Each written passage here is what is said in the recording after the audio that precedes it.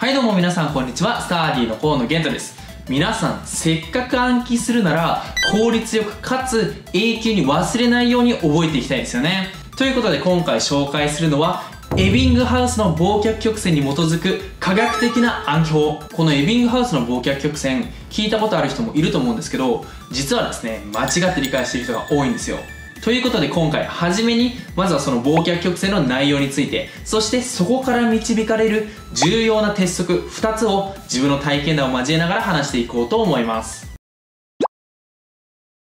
そもそもエビングハウスの忘却曲線っていうのはヘルマン・エビングハウスという人が研究で導いた曲線のことなんですけど、まあ、こういうやつですね。こちらの表を見てもらえるとたった20分で記憶率が58%そして1日経ったらですねわずか33%にまで低下するんですね。要するにですね人間はせっかく覚えたものもあっという間に忘れてしまうということがこの実験結果からわかるんですよ。非常に恐ろしい結果なんですけどこれをですね復習によってこのように記憶に定着させていくと。このように適切なタイミングで復習していけばこのね5回目の復習からはすごくねもうほぼ忘れてないですよね。じゃあ1つ目の表に戻りましてより正確にこのエビングハウスの忘却曲線について理解を深めていこうと思うんですけどそもそもですねその縦軸の部分は記憶率っていう風に言ったんですけど正確には節約率っていうものなんですよ。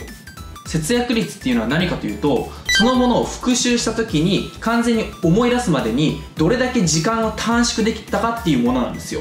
例えばなんですけどあるものを覚えるのに100分かかったとします。そしたらですね20分後には節約率が58%ということは20分後にですねもう一度そのものをですねしっかり覚えようとした場合に58%の労力が省かれる。すなわちね残りの42分でそのものを完璧に覚えられるっていうことになるわけですね。すなわちですねこの忘却曲線が本当に表していることっていうのは復習した時にどれだけ時間が短くできるか。すなわち復習の時間の速さのことを表してるんですね。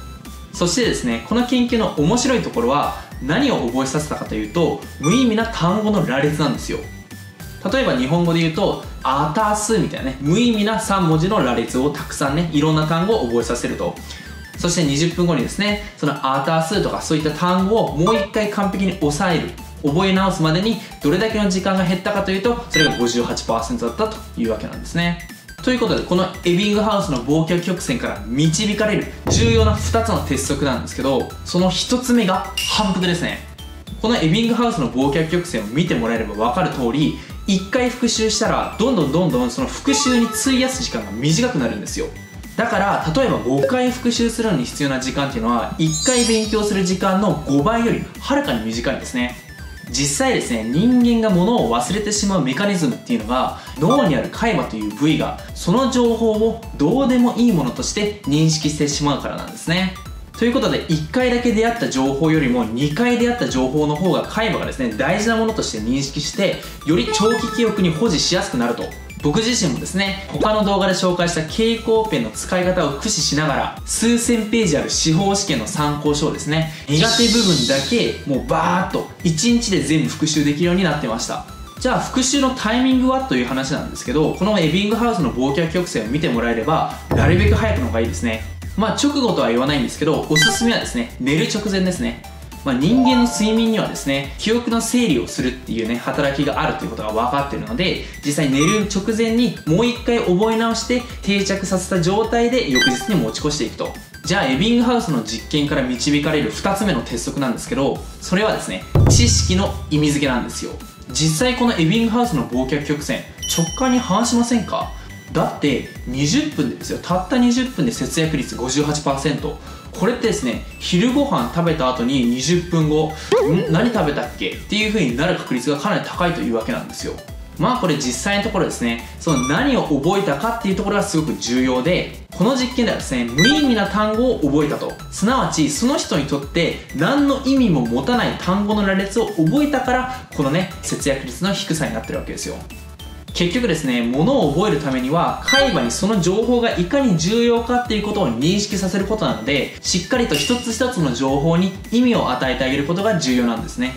例えばある英単語を覚える時にその派生語まで押さえてあげる。そうするとその英単語の周辺知識にあるものがたくさんあるわけで結局ですねその周辺知識の中心にあるこの単語はめちゃくちゃ大事な知識なんだっていうふうに脳が認識するわけです。他にはですね例えば歴史を勉強するにあたってただ単語を押さえるだけじゃなくてその流れ流れをしっかりと押さえてあげてその単語がこの流れの中でこういう位置づけにあるんだっていうことを理解することによってよりその情報が重要なものになっていくと。ということで暗記に重要なのは反復と意味付けと。これを聞いてなんだ結局勉強しなきゃじゃんって思ったそこのあなた。もう本当にその通りなんですよ。学問に王道なしなので気合入れて頑張っていきましょうね。ということでまた次回の動画でお会いしましょう。